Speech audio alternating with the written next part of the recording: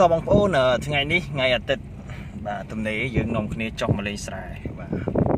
ចុះមកមើលស្រែរៀបចំដីអូអើដបោ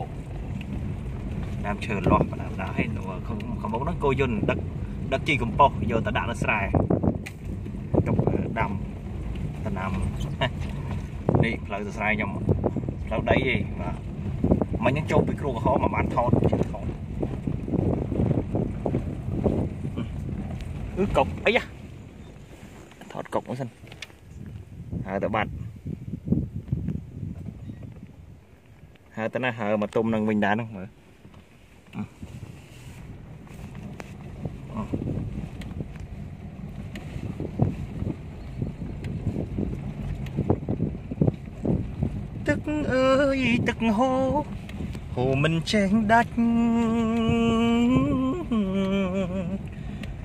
ខ្ញុំ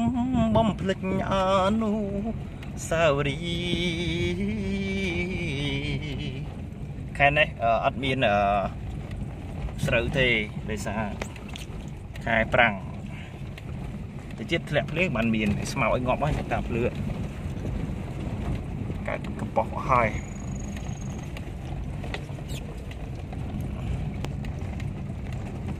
ភ័ព្វព្រេងសំណាងបានជួបរូបស្រីអរគុណប៉ុណ្ណឹងសិនបានហើយតាមតិចទៀតទៅដល់ស្រែ